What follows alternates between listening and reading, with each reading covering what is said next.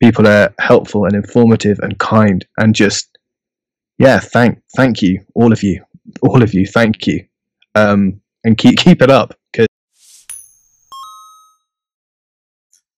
Hey everybody, this episode had some technical issues where I was trying to stream and Luke's uh, connection dropped out a couple times. So I've edited out some uh, clips to try and make it a, a, little bit clearer and also put in some explanations of where uh, he was he was talking in the audio cut out. So hopefully just try and bear with that. Uh, it wasn't ideal. It does clean up the last half hour is pretty good. So if the cutting in and out is, is too annoying for you, then maybe just skip ahead and listen to that final section. Um, but anyway, just just so you know, and uh, enjoy the episode. Welcome to the Bitcoin Cash podcast, following Bitcoin Cash and its rise to global team. The flippening accelerates and BCH Dogecoin surge. Um, it's 26. Oh. It is not. It, that is the wrong date. Let's just. I've already wrecked. Uh, what what is the date today? It's the 26th. The 26th of, of March, 2021. Thursday.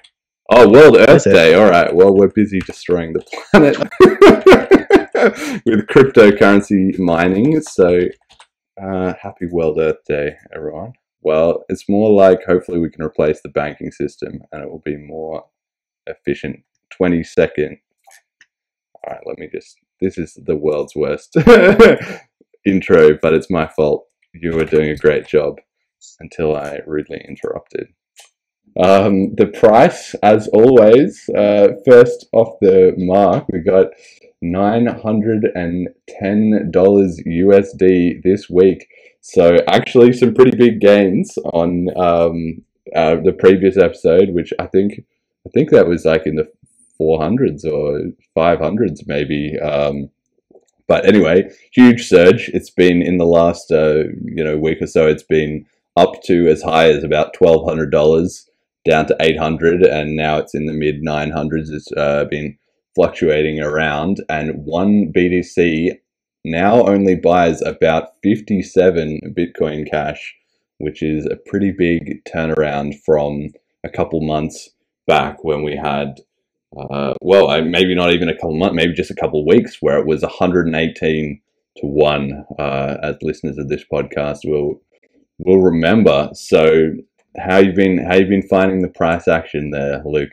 Bitcoin cash holder whose profile's actually in the red, because um, yeah, which was possibly the worst moment, but it's fine. The thing, although I did go all at once. Dollar cost, dollar cost averaging. Oh, well, I think there's research which shows that the best uh, you know, strategy is to just put everything in at once. Like theoretically, the optimum strategy is to just go all in and just wait, right?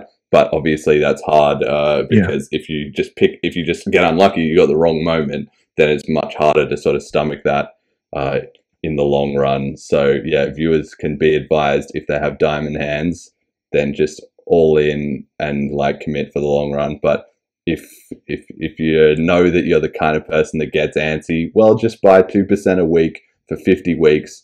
Uh, maybe throw in a bit extra when the price is kicking off and you FOMO in, uh, and then yeah, that will get you to a, a relatively a, good price. But yeah, I, I guess uh, as as always, uh, you got you got to think in the the long run, and uh, Bitcoin Cash is at the bottom of a, a pretty brutal uh, bear market. So um, you know, this hopefully it uh, well, not hopefully. I don't really hope. I just think it'll it'll get better for me. I'm not worried about that.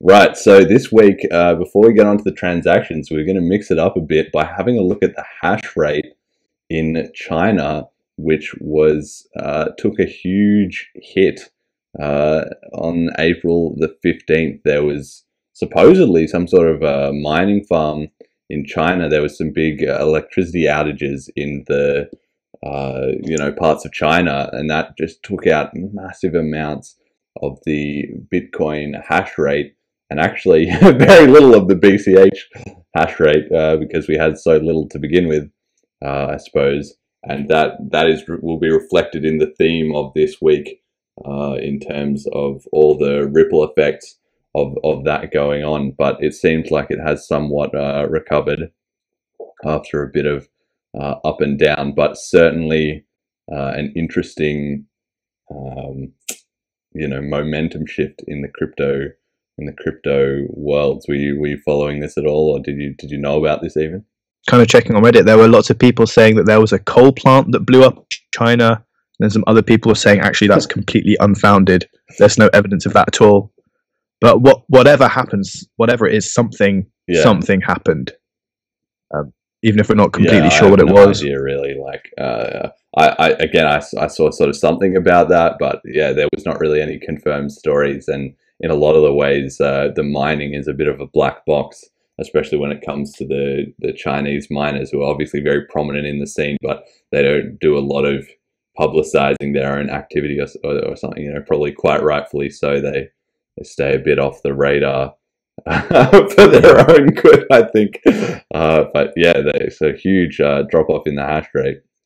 So then, th- when it comes to the transactions, so uh, BCH is down uh, a little bit, uh, but BTC is down a lot. And with this very strange, it obviously just fluctuates up and down, but this very strange pattern here of of dropping off close to you know 220,000 or so transactions and then coming up a little and being down a little bit. And there's a few um, factors that can kind of play into that. But my analysis of this uh, is going to be, and this is probably one of the biggest gaps between uh, BTC and BCH that we've seen so far, but mostly by BTC dropping off rather than BCH being on the rise. But uh, my yeah, my analysis is that the, this is related to the hash rate because if the hash rate uh, drops off, then the uh, block time uh, slows down for BTC because this hash rate happened just after a, a difficulty reset, which is every two weeks.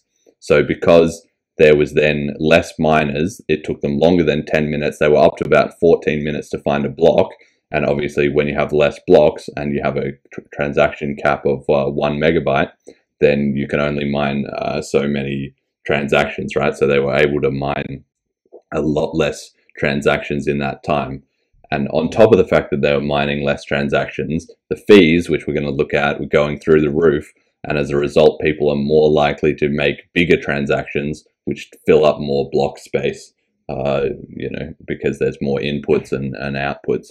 Um, so as a result of all of that, it has just decreased, even though the BTC network is operating at capacity in terms of how many transactions, it's still actually declining. It hasn't even flatlined. It's it's on the decline. If there is a big uh, problem, you know, with a decrease in their in their hash rate, which is a big part of the whole death spiral flippening type theory. So we're seeing sort of a bit of a test case here. Like this wasn't the main event, so to speak, but it kind of proves that that there is some some validity to that theory.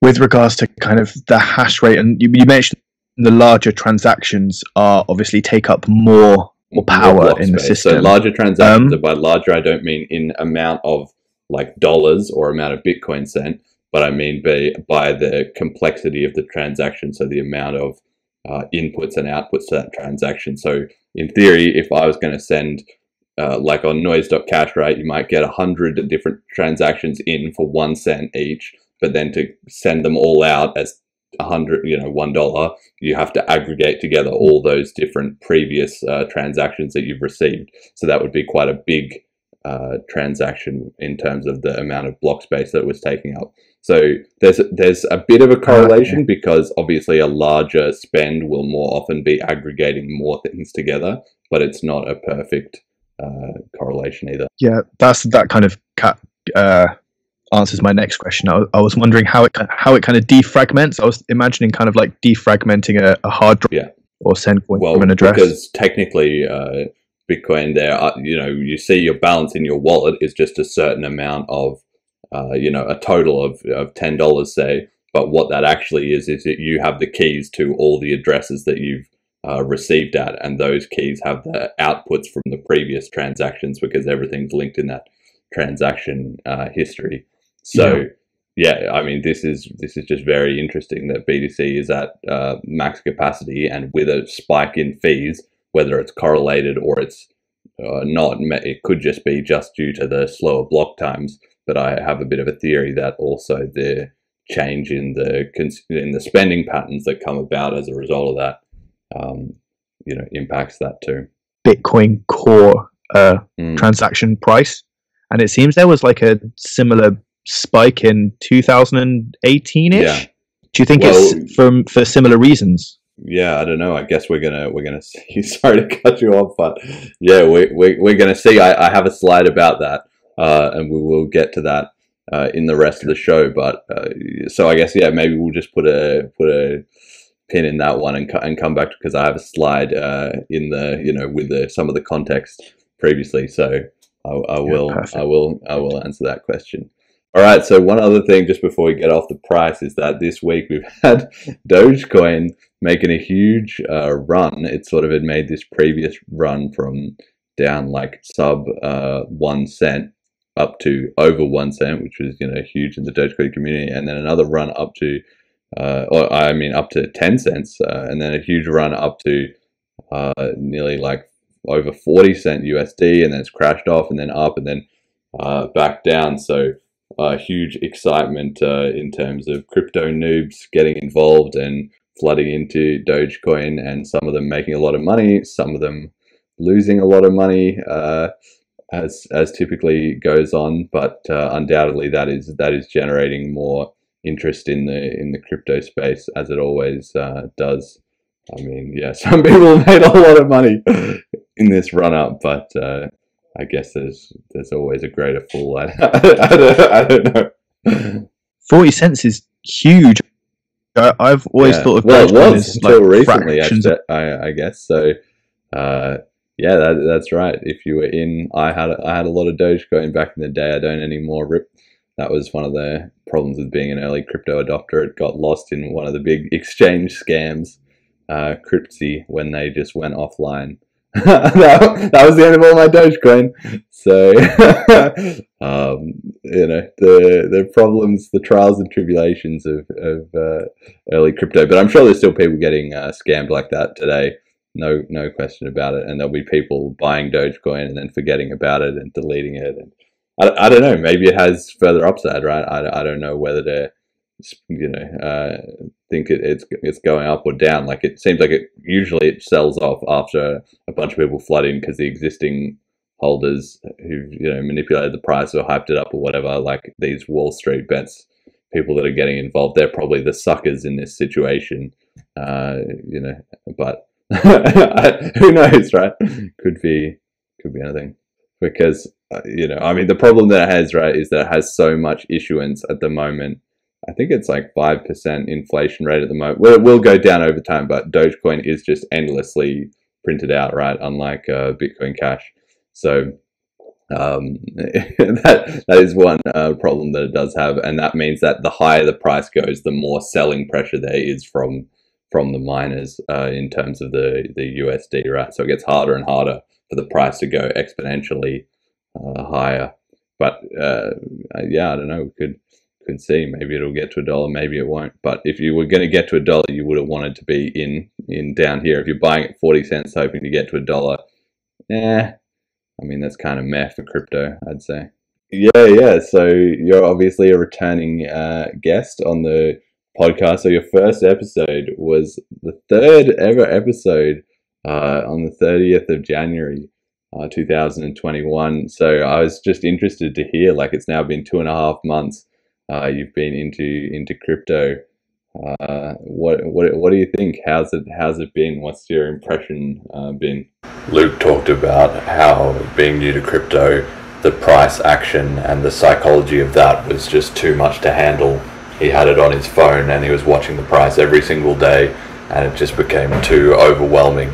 So instead, he's changed to just checking in on the price once every couple days, and that's a lot more manageable since he's seeing it as a long term investment. So he's not playing to move in and out, and is looking at other crypto apps like blockchain.poker to play some poker in BCH. Well, it's the yeah, it's the it's the constant battle of uh, of crypto, right? Is that everybody is most interested in the price, but the thing that drives the price in the long term is real development, whether that's you know technical infrastructure or yeah, like adoption or new apps or yeah, new stuff in the in the community, and it's just it's just a constant like uh, whirlwind of the price versus everything else, and everybody gets excited because there's so many things going on. Like there's thousands of cryptos, they're all doing their own strategies or their own takes of uh, you know how to how to spread uh, how to spread crypto, and a lot of people are speculating and getting rich or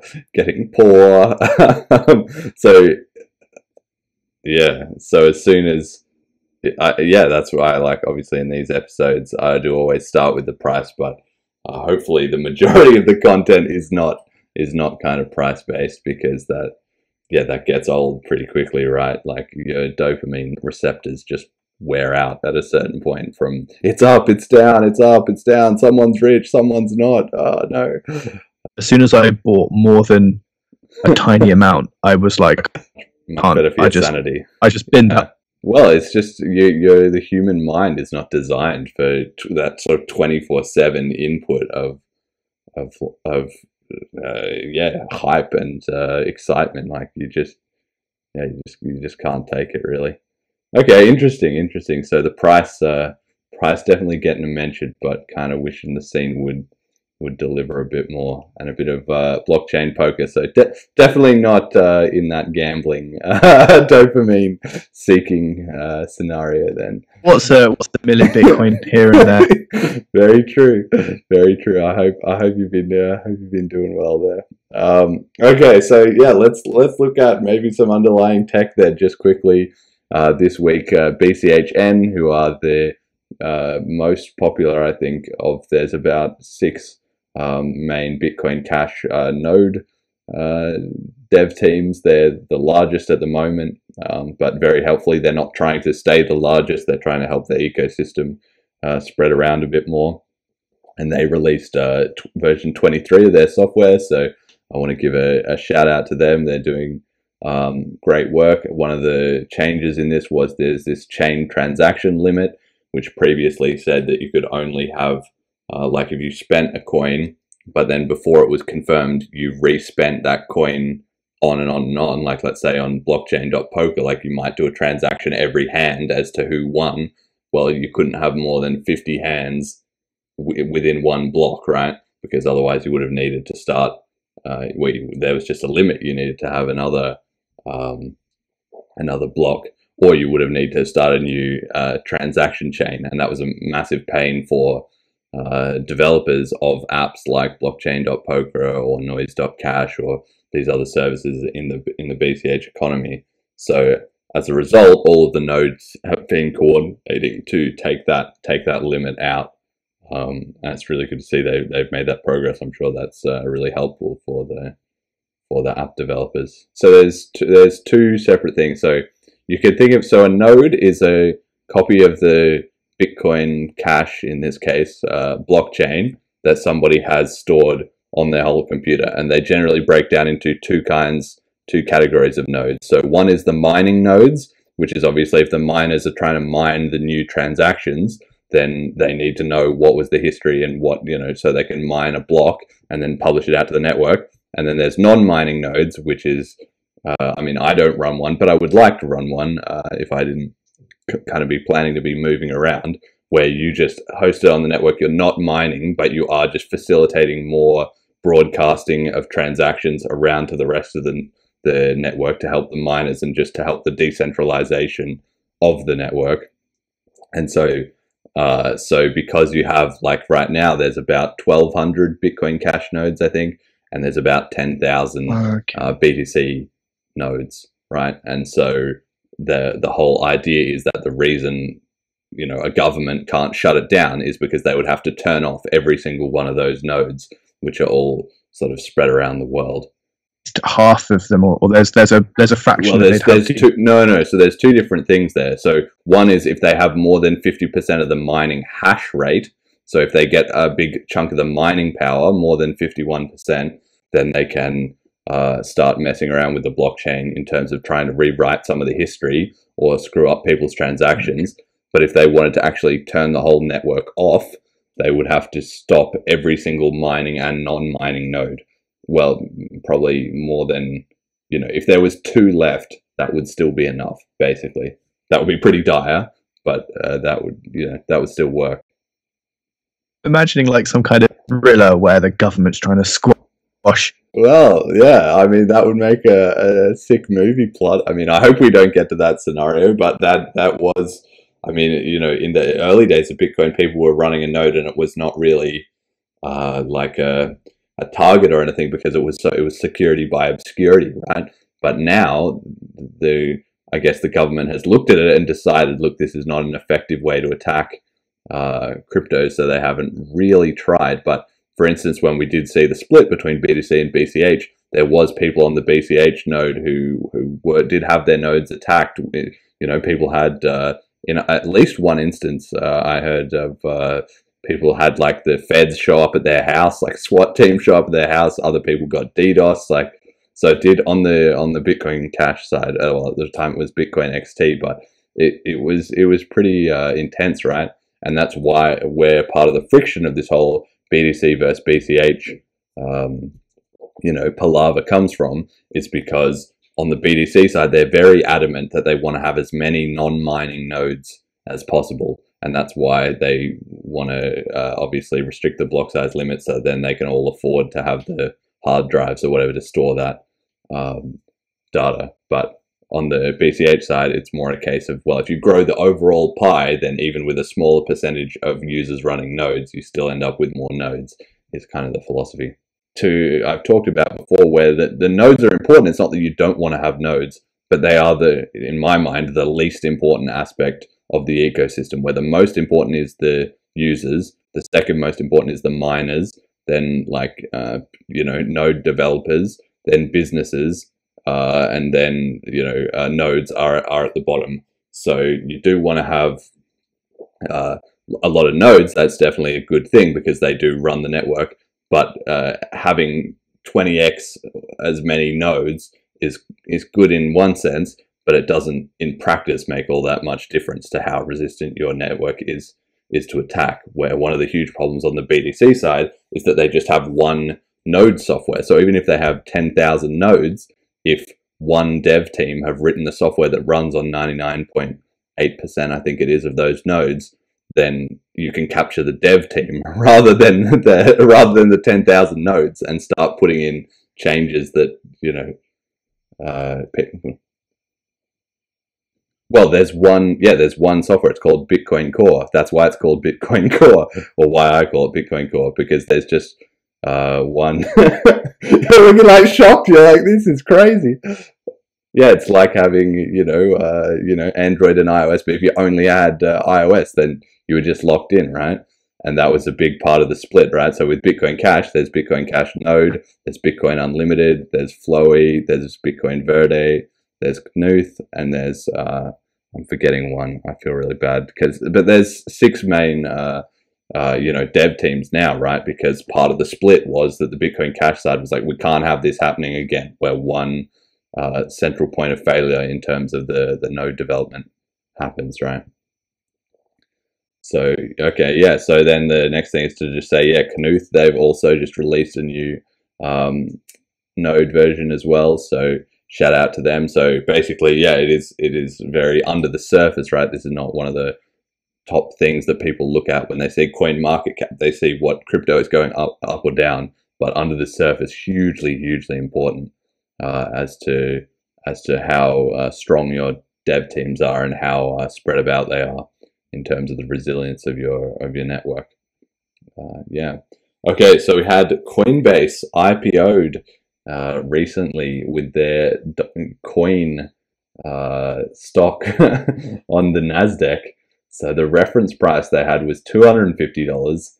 Uh, on the day of uh, release, it shot up. It's not showing this graph, but it was as high as about four hundred and twenty dollars, uh, and it's then sort of tailed off into the three hundreds, and now just under three hundred uh, dollars. So yeah, I don't know. Uh, were you considering buying any Coinbase stock, or did you follow this closely? They've um, just been sued a whole bunch by, by the government. They they've been fined really billions of dollars. I think that I'll have to look into that. Wow. Um, but something like ninety percent of the transactions. Oh yeah, yeah, I did see this. Bitcoin yeah.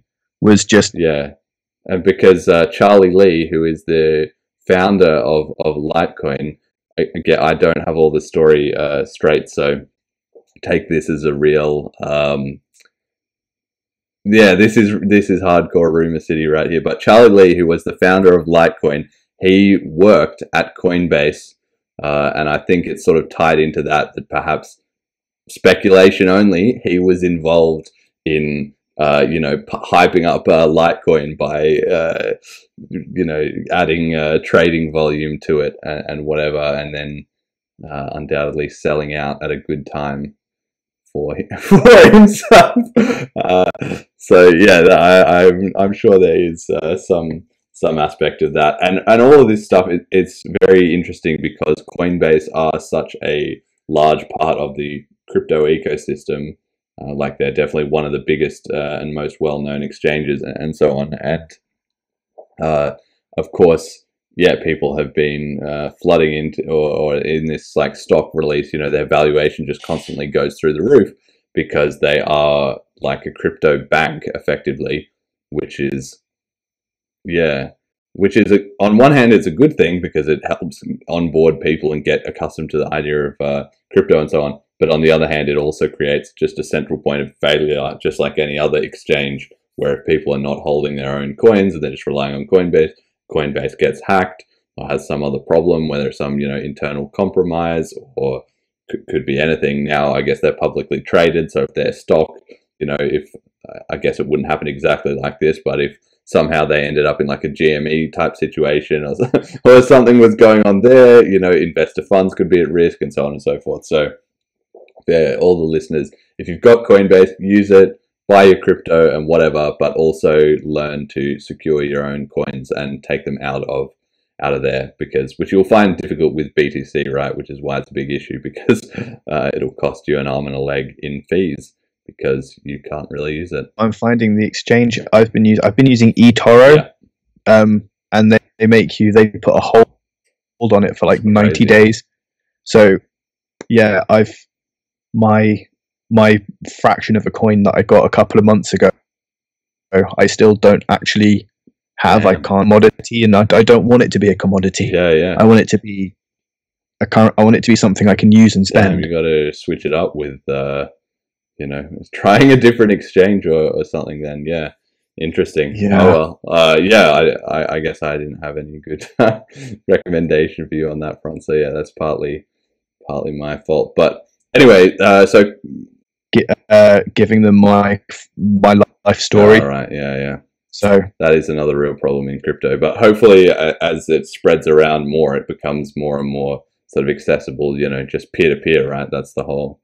Uh, that's the whole point. That's the ultimate, the ultimate goal. So yeah, like when Coinbase did this IPO, they released this kind of hype video, which I couldn't find later. So I don't know whether they took it down or, or what happened to it but it was with Brian Armstrong, who's the founder of uh, Coinbase and now a multi-billionaire, and he uh, was had this like the journey of Coinbase and everything like that, uh, and it was this uh, focus on the Bitcoin white paper was very prominent in what he was kind of talking about, which is good because Coinbase uh, they've always had Bitcoin Cash on their homepage, and uh, it's their you know even even though for political reasons he obviously uh, you know prudence was the better part of valor when it came to the block size debate.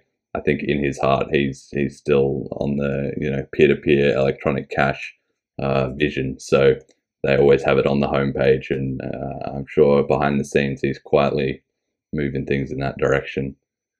Uh, anyway, right. So Venmo also getting involved in, in crypto. So they've got BTC, Ethereum, BCH, and LTC.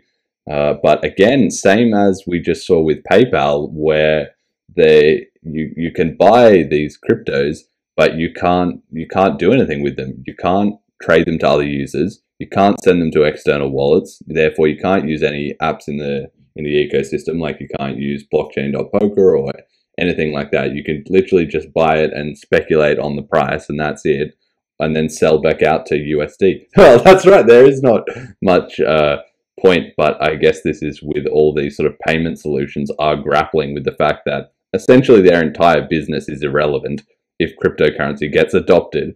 But uh, as it gets adopted, they sort of want to be in a, uh, in on the slice of the pie. So they're just sort of frantically trying to figure out where they can be the middleman in a system that does not have middlemen. Uh, so, I mean, it's good because it gives exposure to to cryptos uh, in that sense. Like it makes them seem more legitimate, and obviously more users will be interested, and, and so on.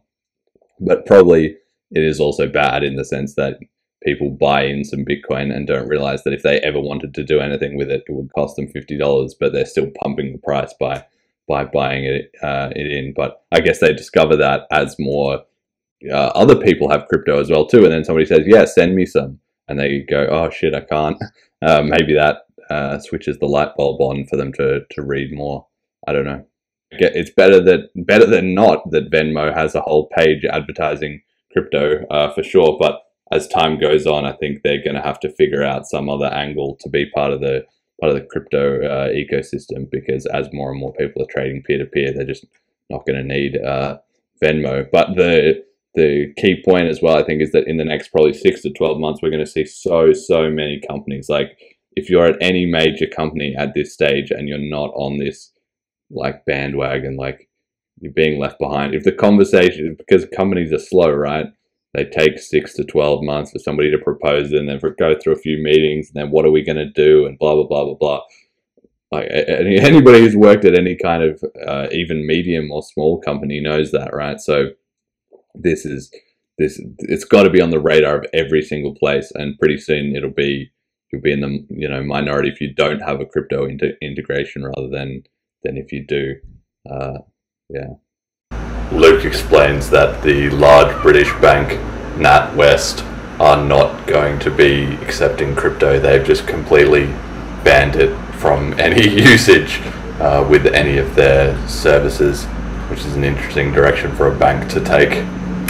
I mean, I found it fascinating that even in my own casual observation is that the funny thing was that Bitcoin and cryptocurrencies are at a huge intersection between technology, finance, you know, um, politics, right?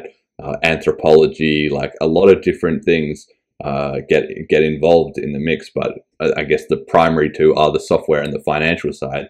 And Bitcoin was embraced on the technology side much much faster than on the finance side.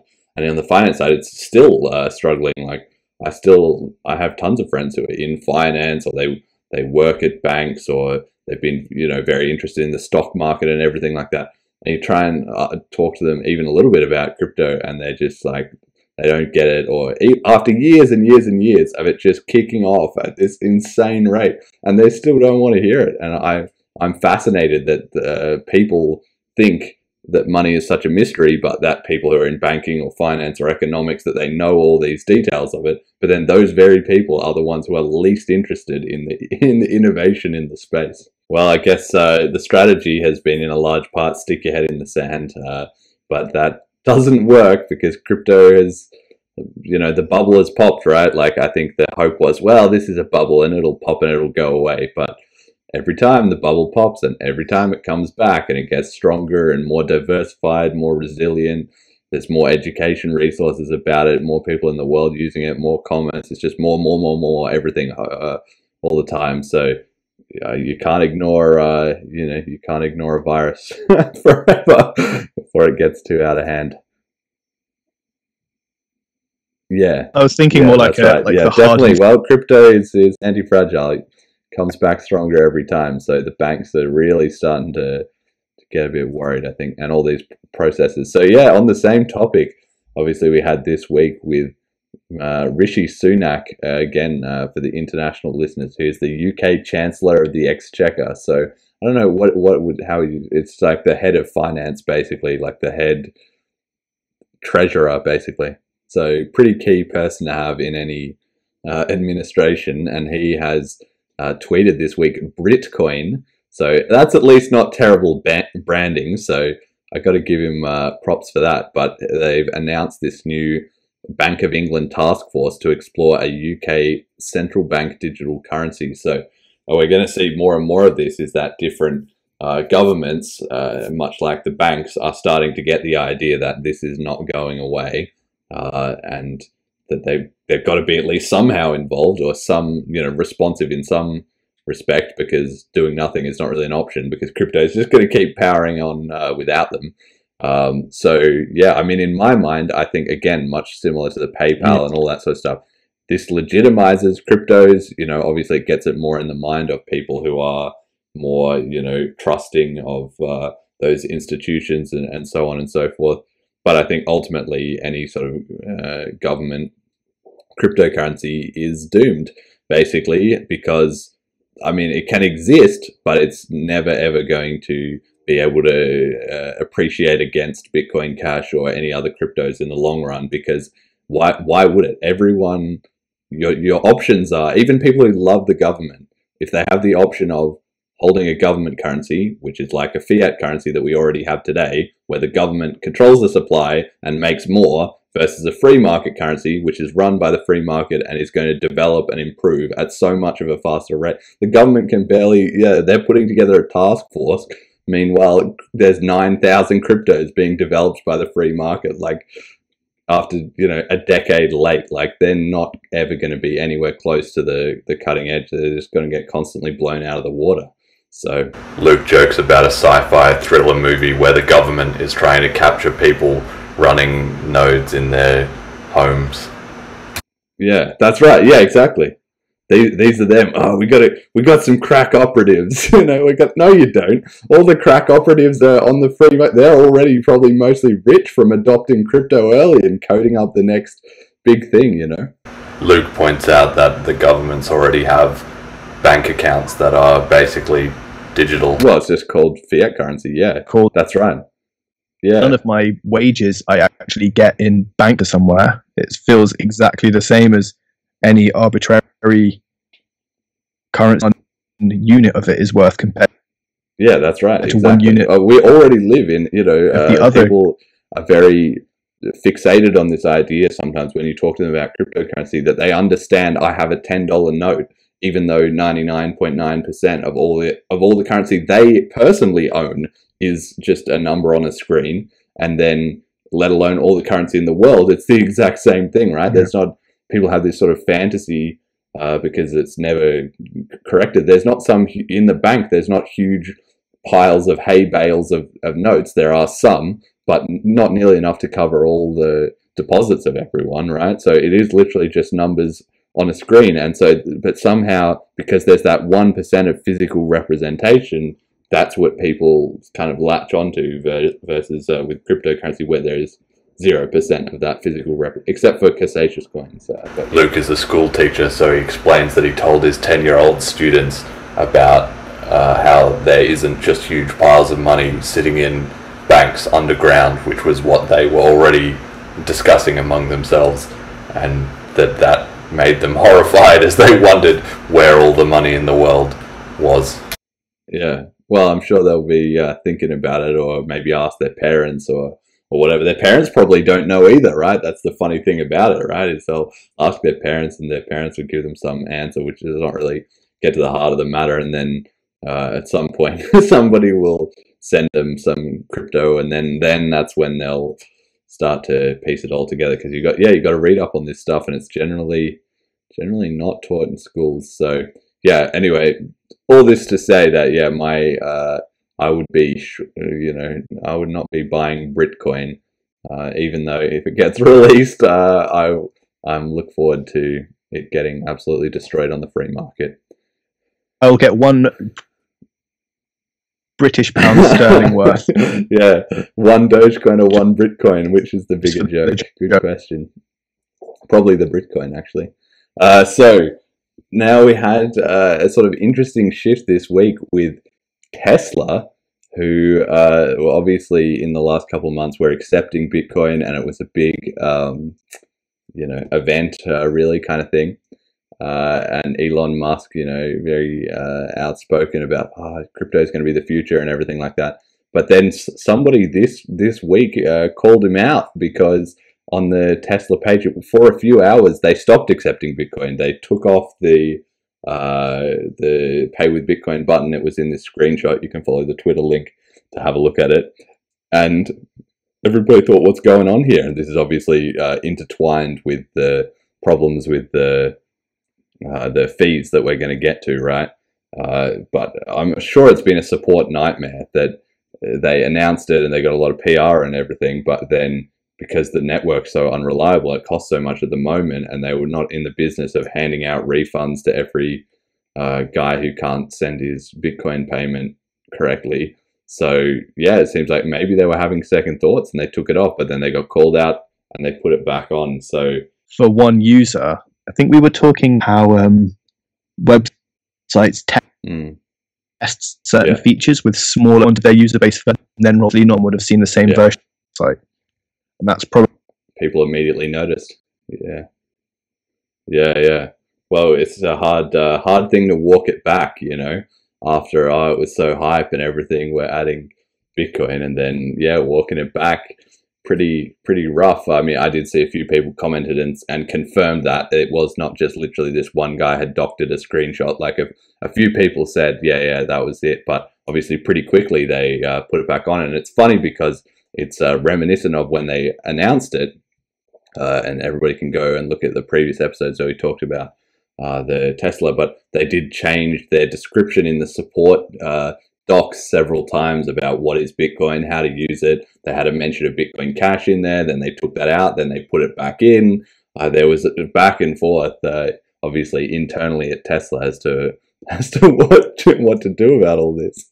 And so yeah, now they've taken it off. So personally, for me, I took it as a huge uh, positive, really, that uh, my prediction that uh, Elon was going to swap over to Bitcoin Cash or Doge uh, is a lot more likely, I think, because I think obviously having practically implemented it where he had, I'm sure he would have looked into it, but maybe not to that depth required.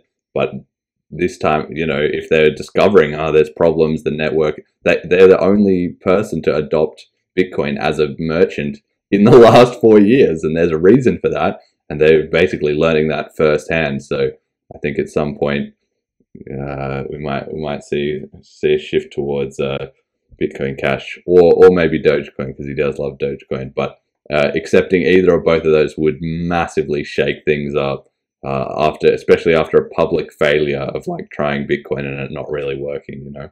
Well, that's the struggle that the crypto market is in, and where where it will be. Yeah, sure. That's the theme of this episode is uh, with Bitcoin, if there is a flippening, let's say if Bitcoin stops being the number one currency because Bitcoin Cash overtakes it, or any crypto, maybe Ethereum overtakes it, or some other one, you know, gets to be number one, that that's gonna that's gonna shake things up a lot, right? Because to people outside of crypto, then it's like, oh, the, you know, it could be any new one any day of the week, right?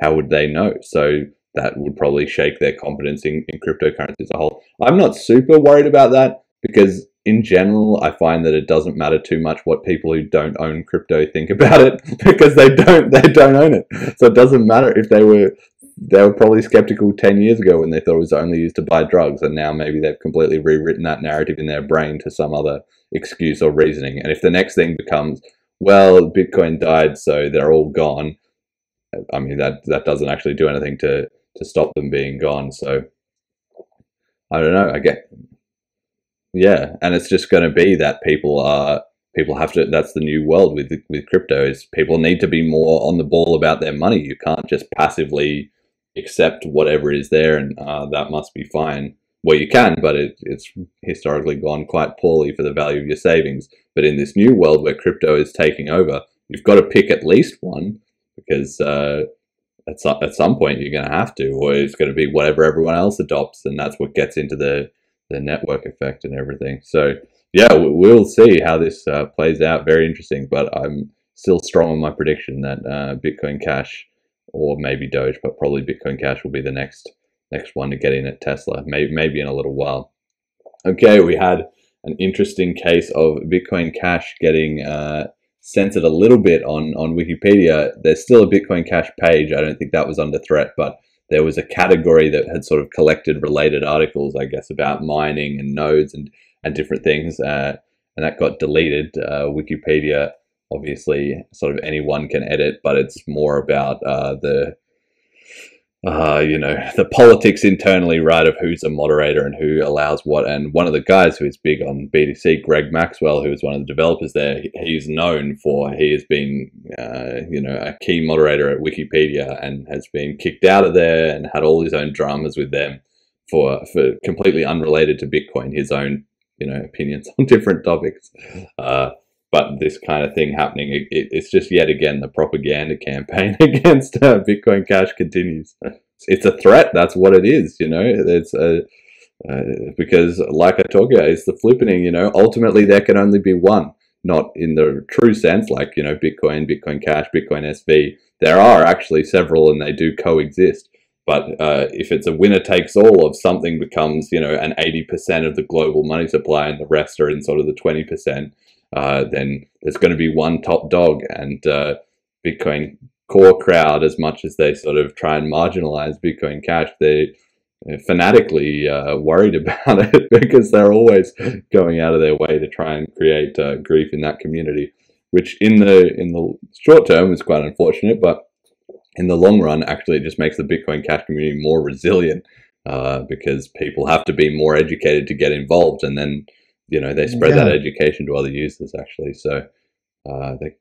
Luke wonders why the Bitcoin supporters are so busy editing Wikipedia yeah. rather than focusing on their own currency and trading it among themselves. If it's mm. the future, why aren't they doing that instead of focusing yeah. on other currencies? Wikipedia pages. Yeah, well, that's right, and that that's why, like you know, you and I have done like a little bit of uh, Bitcoin Cash trading, and so and I see that just overrules any amount of online back and forth or people buying on Venmo to speculate and what like that. That's transient; that'll fade away, right? But in the long run, uh, it's yeah, it's real, real trading uh, that just happens very, very slowly, but it's also very sticky because once people see it happen for real, people know that crap online. You know, people say whatever they want online. It doesn't uh, doesn't stick necessarily. So yeah, so basically, yeah, like we've been talking about, this is kind of the theme of this episode, which is that, in my personal opinion, and I'll get your take in a second, that the Bitcoin BTC it's starting to show pretty serious cracks. You know, it's always been known as the gold standard of crypto and the biggest uh, and best uh, name in town, and its reputation has carried it a long way uh, even after the fork and even as the user experience has got worse and all the innovation has died and all the key players in the scene, a lot of them have moved on to Ethereum or to Bitcoin Cash or other cryptocurrencies. And now we're sort of coming to the end of that uh, age a little bit, I feel, where the fees are rising, the price is kind of uh, stagnant, even though obviously it was recently at all time highs, but it hasn't gone through a big euphoria and just spreading around to the rest of the world in the way you might have expected the dominance uh, in, relative to other currencies is dropping. Their own computer community starting to splinter up, and, and you know, so we're going to look at a couple of those factors. But things, so yeah, this is really the, the the core of the issue here. So this is that chart that I was telling you about uh, and promising that I would address. So you know, uh, this is why, right? Up for all these years, the fees were under like sub one cent, you know, sub one cent, or definitely under, you know, 10 cents basically. Uh, and then uh, in 2017, 2018. This was the split here in August where Bitcoin Cash forked off because they could see these problems coming. And then there was a huge uh, fee issue on BTC where fees went up to about $50. But yeah, anyway, so the fees got up to uh, like uh, 56, you know, nearly dollars. And it was terrible, obviously, um, in that respect. Uh, and that was at the, that's what brought the previous bull run to a stop was that it was kicking off and everybody was excited and everything. And then as the feeds got worse and worse, it stopped being used, and then that was part of the the whole uh, crash. So that was the the precedent that it couldn't sustain that that growth despite the feeds. And so now we've had this recent bull run, and it, it's powered up uh, a ton. Um, but obviously, with the dropping hash rate, like we were talking about before, uh, and already being at that limit uh, for so, for so long, the fees have been going up and up and up, and now they're just going absolutely like to the moon here with uh, sixty four dollar type um, type of fees. So yeah, I, I, I don't know. Yeah, people stopped using it basically because at the time as all of that uh, kicked off, the fees got worse and worse and worse, and then the people who actually wanted to use crypto they all moved off into other coins, right? They moved off into Ethereum, they moved off into Bitcoin Cash after it had forked off, they moved it into all the other different ones, so that relieved some of the transaction pressure on the network, which has then slowly been building up again this last uh, few years, where now it's just constantly at that pressure. And if if the pressure increases, if there's a big surge in the price, or people want to send it around more or anything, then all that does is the only release valve is just the fees, which just rocket up, and essentially there's no limit to that. So we're going to wait and see how how high the fees can get before Bitcoin, you know, becomes totally unusable. At, at what point the average investors stop buying in, basically. It, it is literally just a bidding war between people. At some point, this turns into a panic to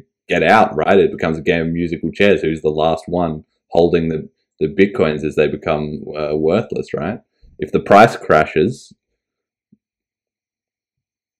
yeah, yeah, exactly. Well, that, that's why I don't recommend it to the, the listeners, and that that's where you can imagine if you combined this with a surge in the Bitcoin cash price, which was then attracting more of the hash rate. So instead of seeing the hash rate switch off with the miners in China, if instead they would, uh, you know, swapping ships to BCH, then that could be a feedback loop that just drives BTC into irrelevance. So uh, we will see. But interestingly, it can't work the other way, right? Because Bitcoin Cash, well, firstly, they're already in the minority, so if it was going to happen, they would already be dead. But uh, they changed their difficulty to adjust every block.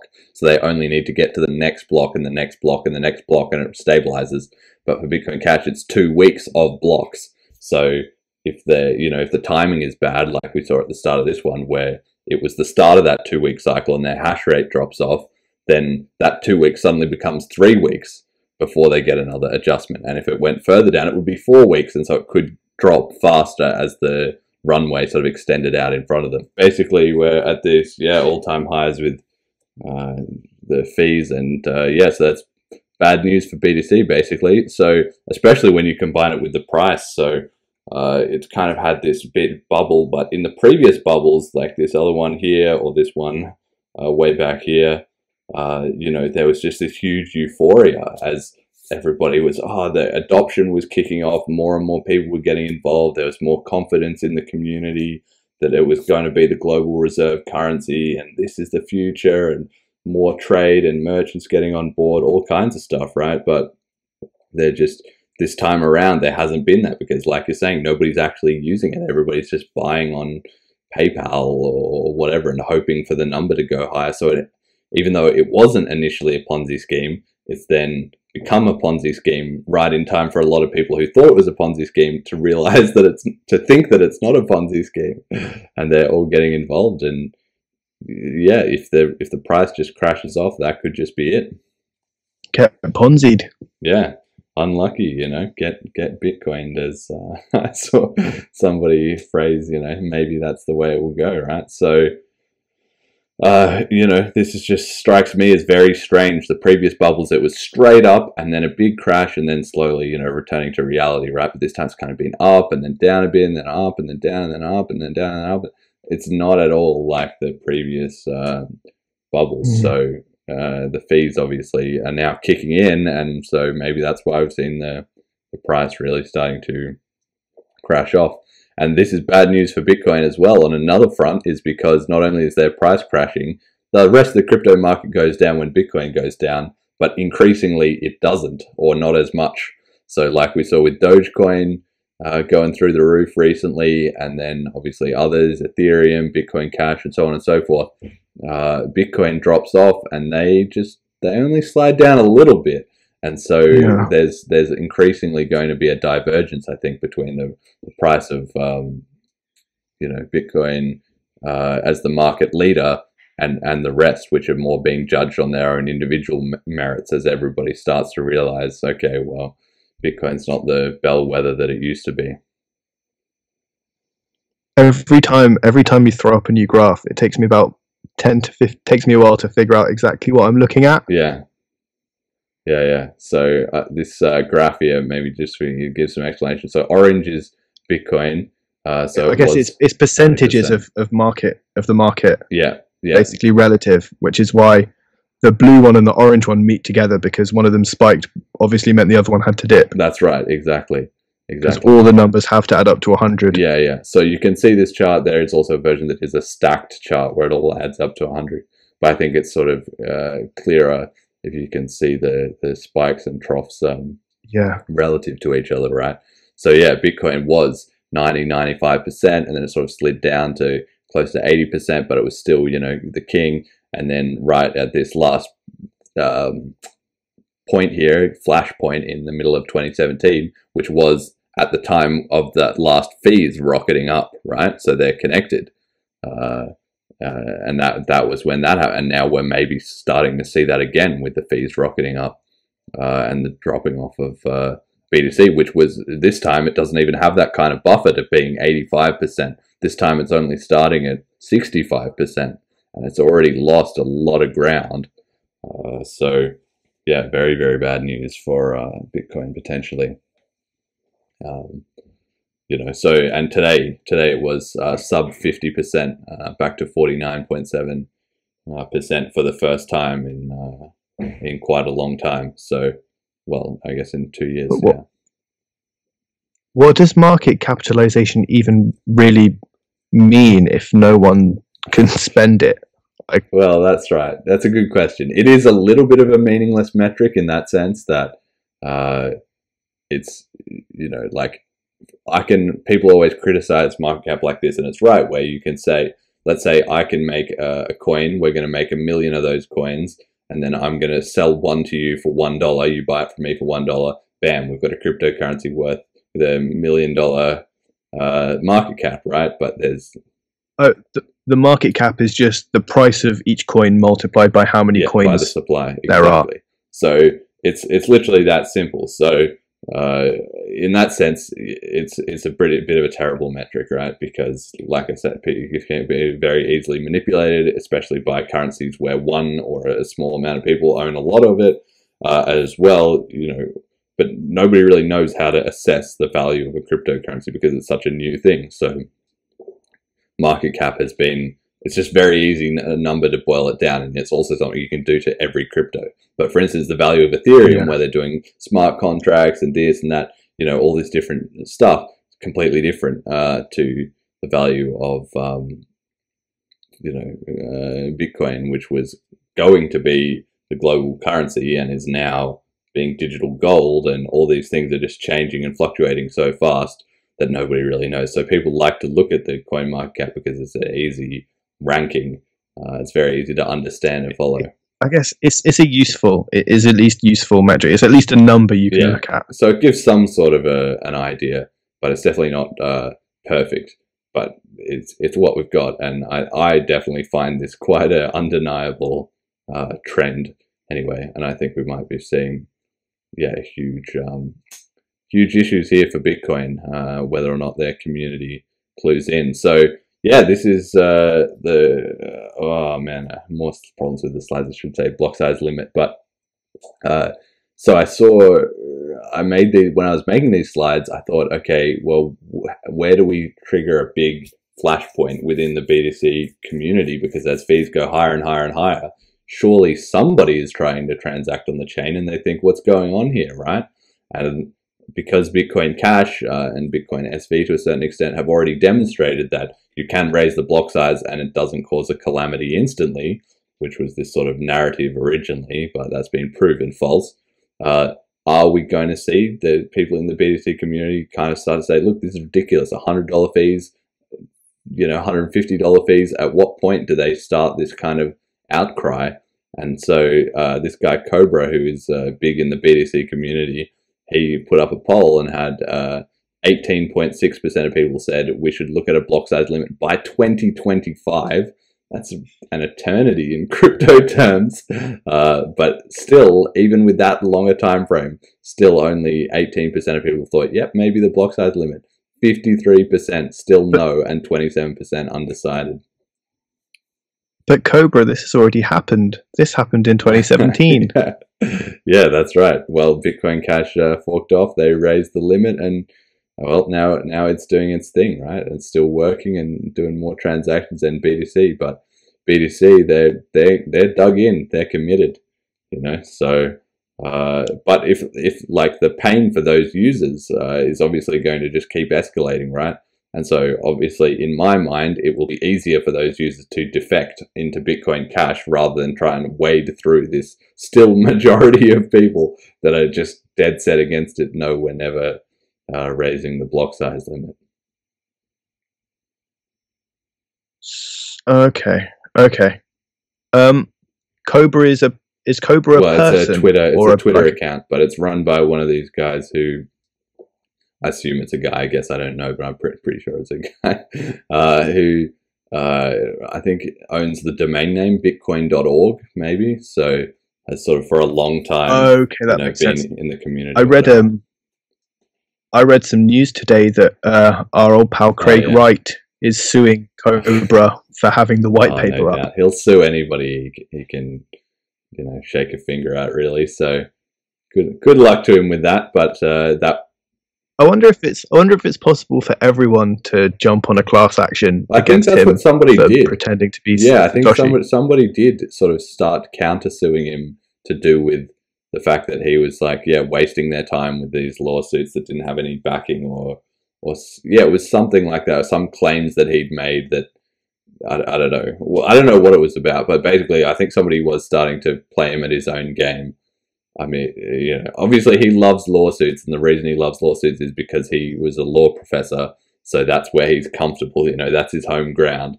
It's it's like it's very like it's very like nerd. Donald Trump as well, where it's just like I'm just gonna throw as much lawsuits at somebody and hope that I have enough money, so even they're all gonna fail, like that will intimidate them or scare them off or something like that. But it just doesn't really work, right? like uh, if you don't have a point, if you don't have an argument with the court, the court ultimately their job is to get to the bottom of things. So they're not just going to look at it and be like, "Well, this is your tenth shitty lawsuit. It's still a shit lawsuit though, so go away."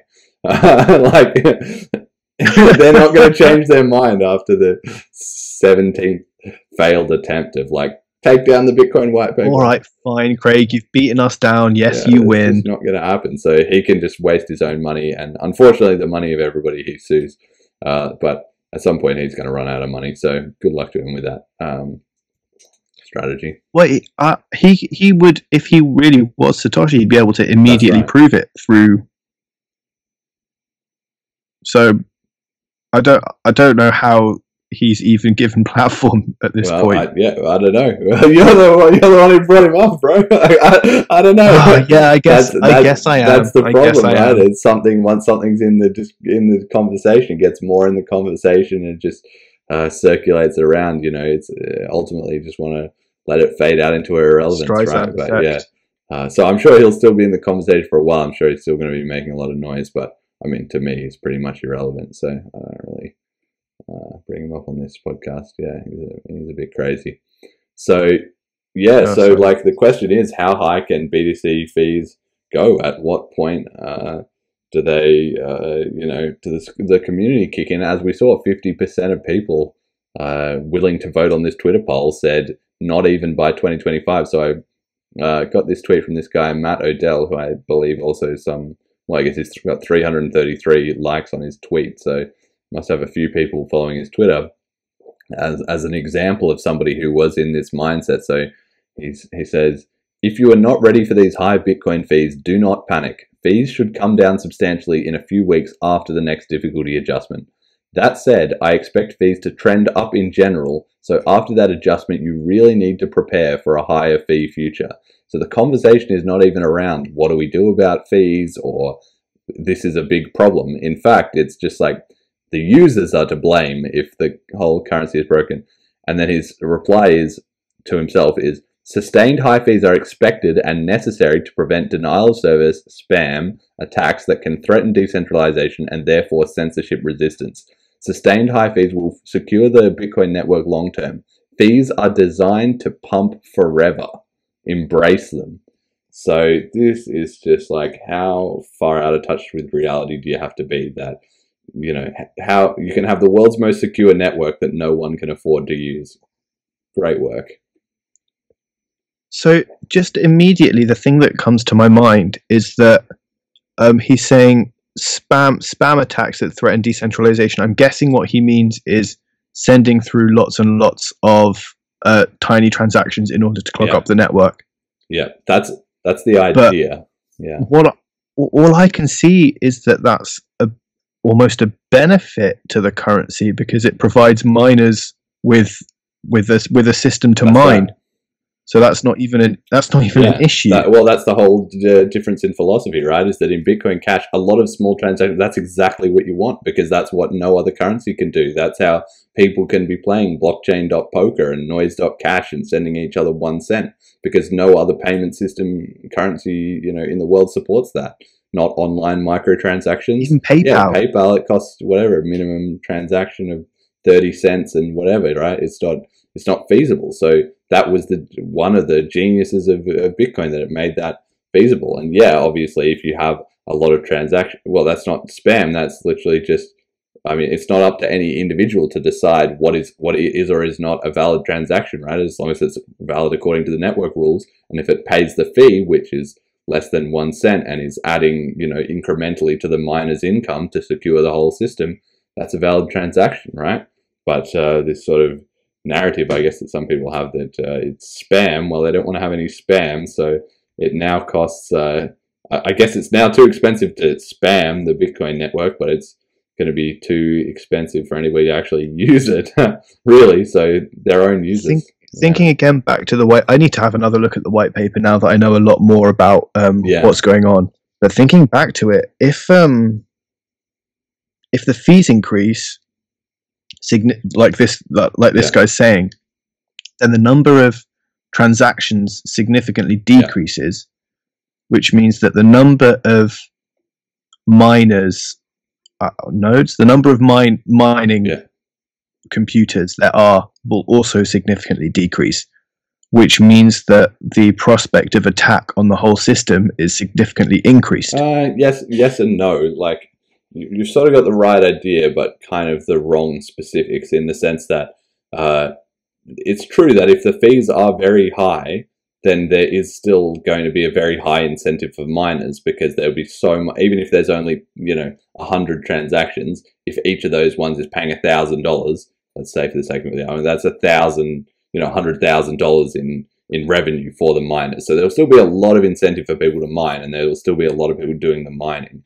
But on the other hand, uh, you've got that strong security in terms of the miners, but very low security in terms of everything else. Like you're saying, there there won't be any users, right? So there there will just be very few people. So if the government wants to regulate it or whatever, they're only fighting a tiny minority of the population rather than you know half the country is using crypto. Then they're obviously going to be upset if the government tries to mess about with it.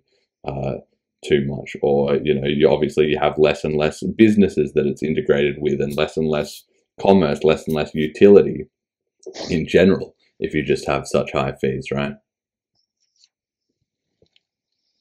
Yeah. yeah definitely take another look at the uh at the uh, white paper though yeah i'll be interested to hear how you find it uh i was impressed that you even Yeah. gave it a crack uh, the first time around. But yeah, now I mean, one thing to look out for is in the uh, white paper. You will notice though that when Satoshi uh, writes about nodes, that means mining nodes. Satoshi didn't really well until he gets down to simplified payment verification in uh, Section Eight or, or whatever it is. Um, but there was no such thing as mining pools or non-mining nodes or whatever in Satoshi's days of Bitcoin because uh, the the whole network was so uh, young at that point. But Satoshi did incidentally predict uh, mining pools and predicted a lot of stuff that ended up uh, coming true in the in the Bitcoin ecosystem. So definitely, definitely knew what was up with that uh, revolutionary concept that uh, he invented. So Yeah. What? What? A, it's one of those ideas that you kind of think this is the kind of idea that someone would come up with if they had access to Yeah. a time machine. Yeah, that's right. Yeah, it, it, it, it it actually does.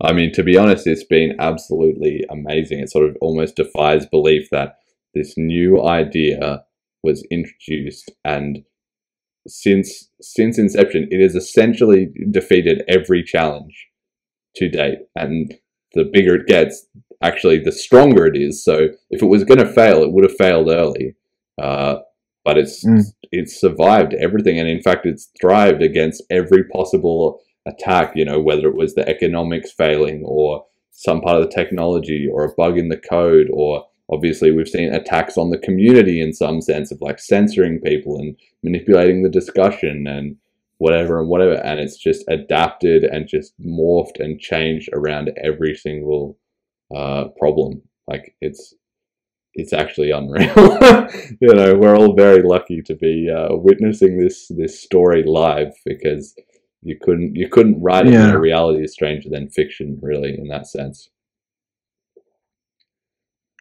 I I also wonder what this uh, what this gentleman expects the the the top level of, of Bitcoin fees to be i don't know it says it's going to pump if forever. designed.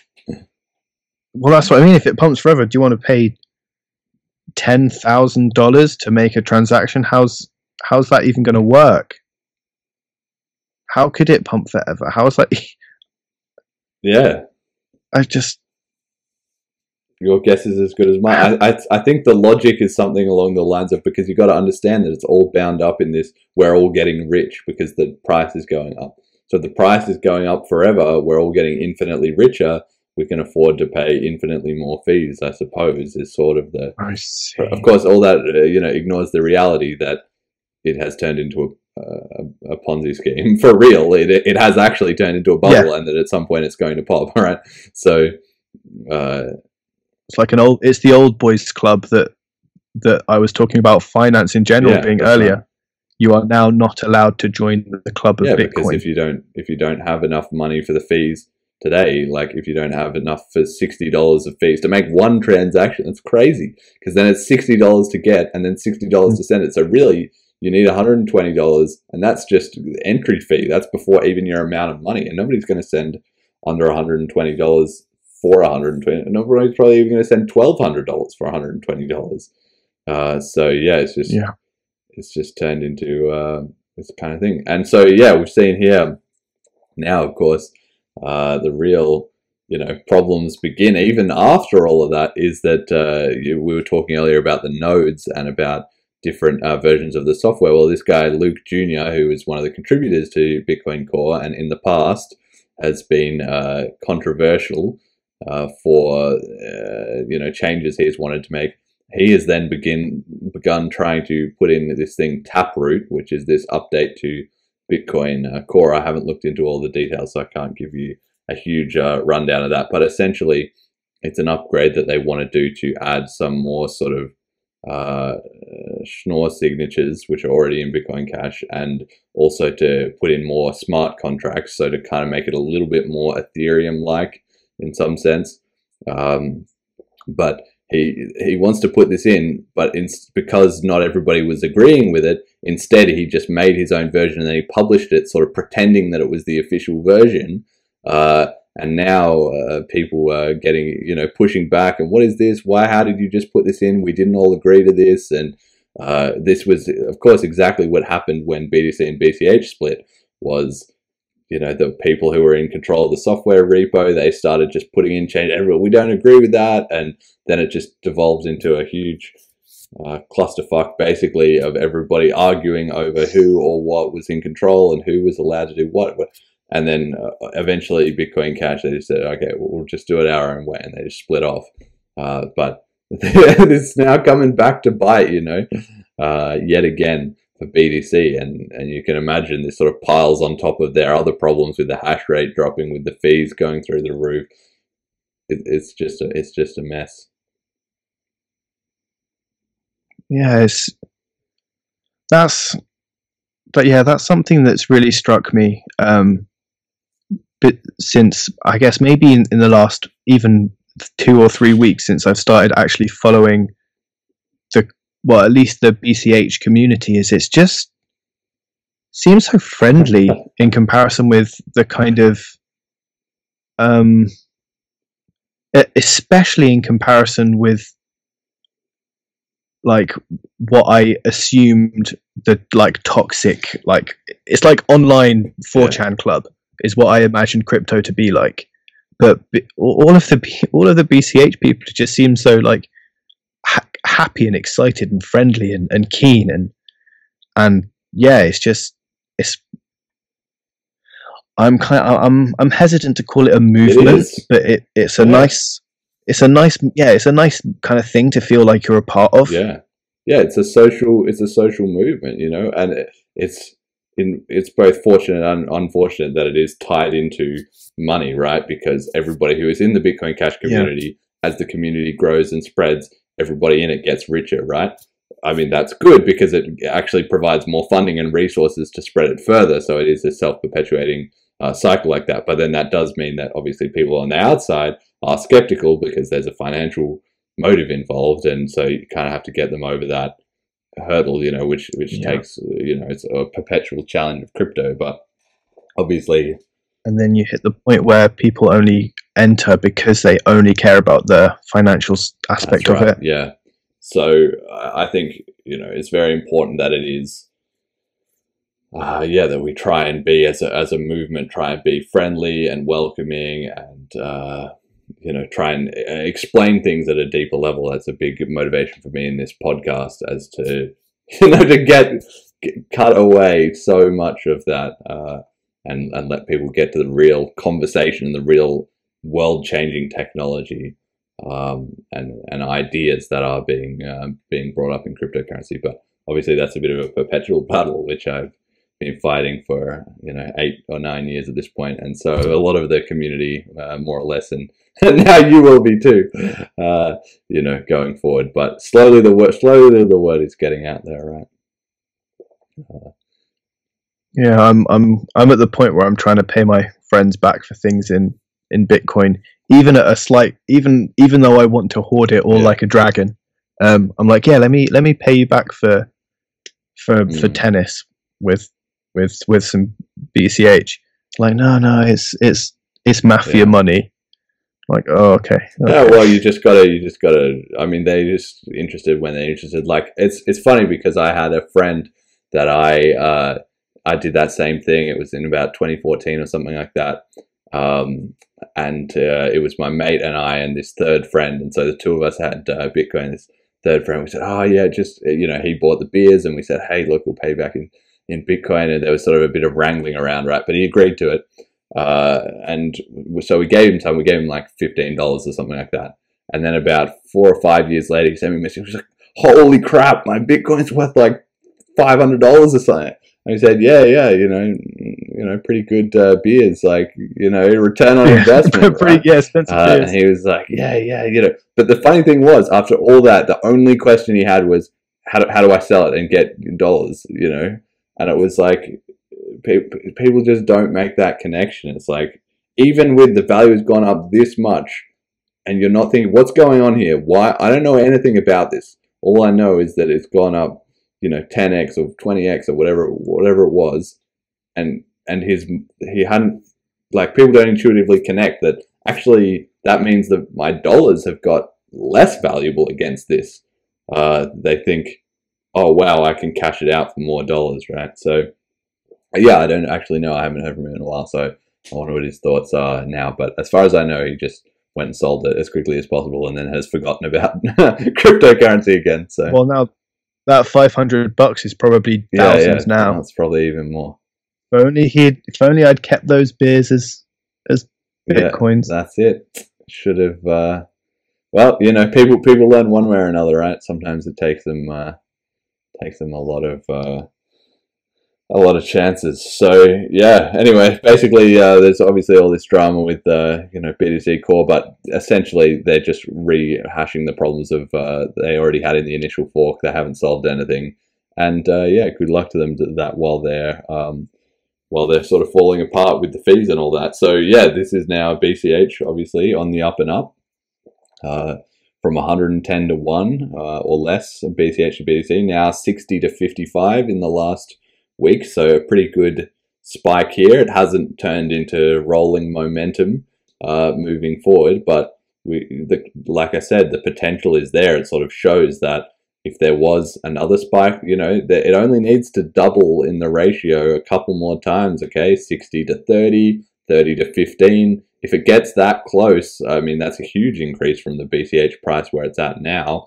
Then then people are really going. Is this happening? Like, at what point does the the does this trend uh, end? And uh, obviously, as the BTC community are falling apart uh, in their you know internally on several different fronts, defecting to BCH becomes increasingly uh, a good prospect for BTC holders. I feel a little bit bad because, I mean, again, I, I I'm I'm super new to this, but uh, and maybe this maybe this is bad. This is a this is bad of me. But every time I kind of think about BTC is kind of having difficulty, it like my heart smiles a little bit. Mine too, mate.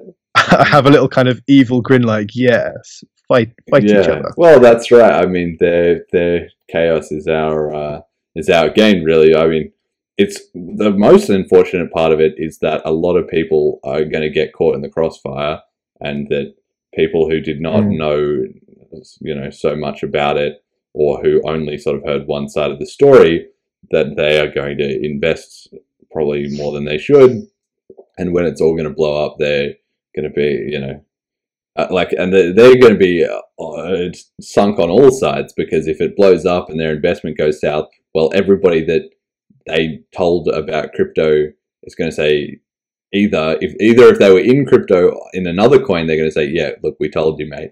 And then if they are not in crypto, they will say, "Yeah, I knew crypto was a scam. Told you." So they're going to get squeezed in the middle there. Um, but the best that can Yeah. be done, I guess, is to is to sort of get the word out there and uh, hopefully, if yeah, if if uh, you know, keep your own uh, social network uh, up to speed on on crypto as best as you're able. Obviously, everybody can make their own decisions and do their own research and spend their own money on uh, whatever they want. But uh, who knows? BTC could I, go a I, lot higher. I think it's part of the it's part of the duty of a friend to inform a friend about things that a friend needs to know. yeah, yeah, So, definitely. But uh, yeah, you can just like my friend with the beers, right? I tried to explain to him, look, here's fifteen dollars of Bitcoin, and then I tried to explain to him, you might not want to sell you five hundred dollars of Bitcoin, but uh, sometimes people people are going to make their own uh, choices. So he wanted a new PS4. Yeah, Can't blame him. exactly. I'm sure he had a, a couple of good nights with the the money he made out of that uh, the yeah, fiat currency he got. So yeah, so this is my community comment of the week uh, as we're getting towards the end of the show. Uh, now, uh, so this was somebody I was talking to, asked to remain anonymous, but they said this is basically how the, the Bitcoin uh, BTC house is gonna is gonna know you know is gonna go down in flames. They said diehard useful idiots who think BTC is actually about freedom, they will be well and truly fucked. The insiders who know the scam, they will get out first. The investors who give zero fucks about BTC will get out. The businesses who depend on BTC being the king will be yelling at everybody to calm down as the house burns, etc. And that, to me, that that was just the summary. Like once one card in the house uh, at the bottom falls out, then the whole thing just rickety and and and collapses. And uh, I think we're starting to see a little bit of that right now, basically. Yeah, it's. I kind of. My heart does go out to anyone who ends up in an unfortunate situation based on on this kind of whole thing because it is it is a it it it will ruin some Yeah. people Yep. You got to learn the hard way, unfortunately. Sometimes, I mean, in crypto, it's made a lot of people rich and, and ruined a lot of people, uh, you know, in different ways. Uh, for sure, I've been on, you know, I've been on the ups and the downs with crypto, and uh, that's that's just how it is. How it is, really. Uh, it's a traumatic process for humanity to slowly figure out this colossal civilization level uh, shift right? And everybody's going to have their own um, perspective and their own involvement in that, right? So, yeah, I think just the most important thing for the listeners is just try and get uh, as educated as you can. So, yeah, listen to this podcast, but also just read up on other sources of information and mostly try and get hands on experience. Try and actually just buy $5, transfer it around, learn about wallets, understand how it all works. it will be well, well worth your time uh, to do so. But that that is critical to uh, you know minimizing your chances of uh, of coming out on the wrong end of uh, of, of something that uh, you can't really ignore uh, either. So that's not really an option. So it's also something you can't personally control. Well, That's that's the thing. It's like you don't want to tie yourself to the to a Yeah. boat that you don't have any control Yeah. over. yeah, I mean, obviously people can spread out their you know investment in the crypto scene and buy different coins that they like, or or you That's know, true. and obviously only invest uh, you know small amounts that they're comfortable losing, and and that you know if if that coin doesn't really pan out or or whatever. But yeah, the main thing is to is to is to just learn learn by experience and just make the cost of that learning very very small uh, until you know what you're doing.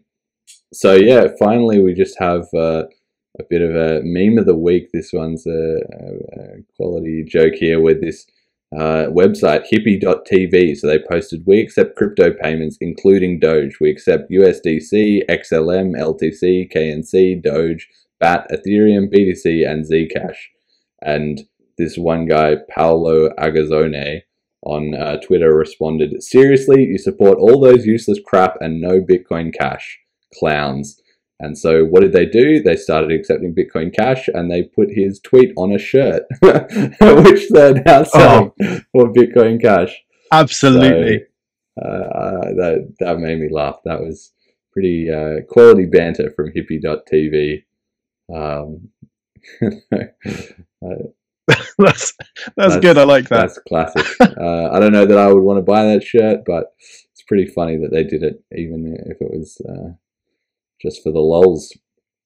Right, so that's pretty much uh, getting towards the end of the show. So I've tried to add this segment as well, a message to the community where I have a guest. You know, they can uh, feed something to the to the Bitcoin Cash community, so that we can you know have a bit more uh, dialogue. And obviously, everyone hears enough about what I think. So yeah, do you have uh, anything you'd, you'd like to sort of spread uh, in the zeitgeist of uh, how Bitcoin Cash can Oh. improve? Or I wa- no, I think my um, I think I've I've said I've done this throughout Yeah. the episode. To be honest, uh, my general my general message to the community would be as a severe newcomer, like super new, um, just just thanks. I've not come across anyone who's been who's like taken the piss for me not knowing what I'm talking about.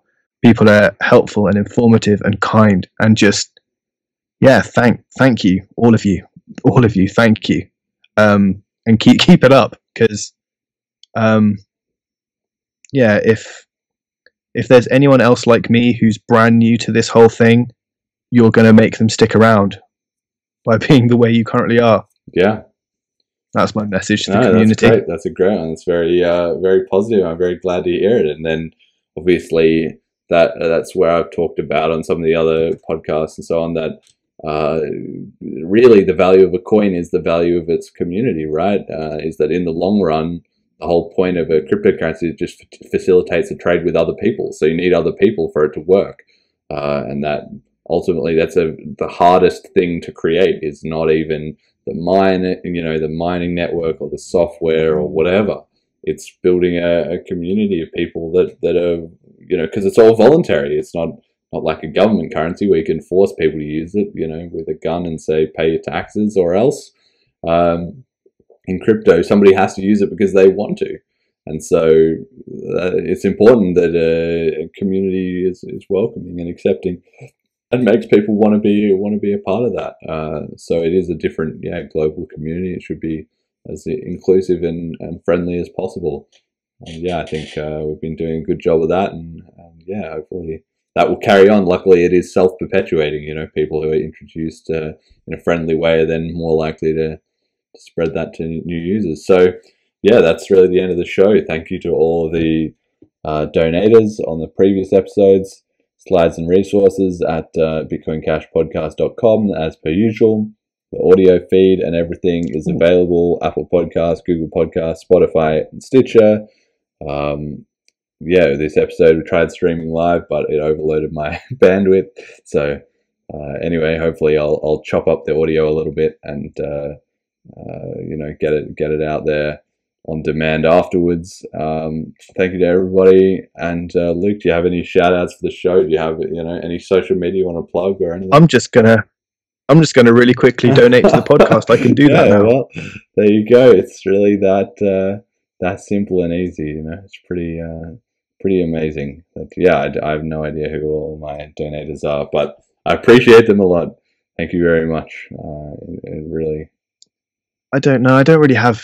I don't really go for that kind of self promotion, Yeah. social media type thing. I'm just. I'm just here that- for the well, banter. That's that's really. good. I've been glad to have you, and I'm sure you'll be uh, back for another episode uh, at some point. Yeah. Thanks. It's thanks for having me. Always a pleasure, mate. So yeah, uh, thank you to the listeners, and until next time. He pulled out his laptop and bring up the site. Looked at me and said, This will change your whole life. Then he started explaining the basics to me. The miners make money by taking a fee every time a transaction is made and complete. And they work every minute and day of the week. A guy named Satoshi created this all. He's the mastermind of it, the brain and the balls. There's a lot more to say, but before I begin, just tell me right now if you're out or you're in.